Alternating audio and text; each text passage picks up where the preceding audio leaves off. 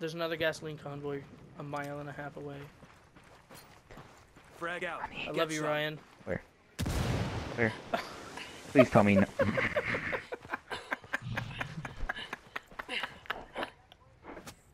Such a faggot.